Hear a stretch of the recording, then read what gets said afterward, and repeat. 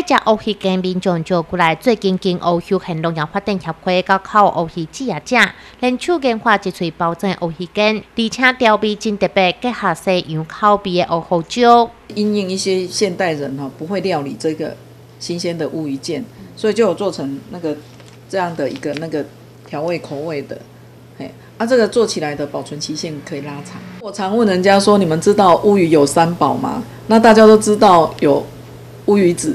哦，就是乌鱼卵，其他都不知道。其实像乌鱼标也是，它就是我们以前所称的那个海豆腐。其实我们是希望说，呃，把乌鱼的整条鱼的那个部位哈，都可以都可以把它那个呃推广出去。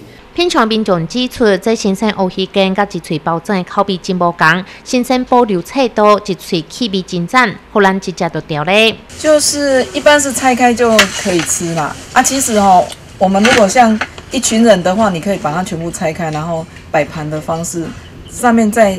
加一点点那个柠檬汁。其实要食乌鱼羹，爱看季节，乌鱼子收成的时阵才有，而且料理真爱清洗真够工，好真侪餐厅甲家庭主妇拢无爱处理。就是因为它胃部里面，如果说它的那个胃里胃部里面的残留残留的那个食物没有清干净，你就是爱用手缸，吼去给破开，啊内底爱搁甲洗。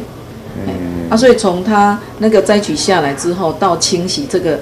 阶段其实是还蛮费工时的。这经过处理甲料理的一喙乌鱼羹，介绍也因此提高，是比新鲜贵几啊倍。因为伊的适当啊，你加工过了，伊的伊的迄个重量会变较轻啊。啊，淡的是一斤差不多七百。七百至八百。加工过的一斤要两千五。要久等保存时间，搁要保留品相的好时机，这一喙乌鱼羹要做的好食并无简单。金华业者表示，真正熬熬调味，都试几啊摆。不过因为追求这一喙上赞口感，是无放弃研发甲大家分享。现在这乌胡椒的口味，靠三地才食会到。记者李克川差不多。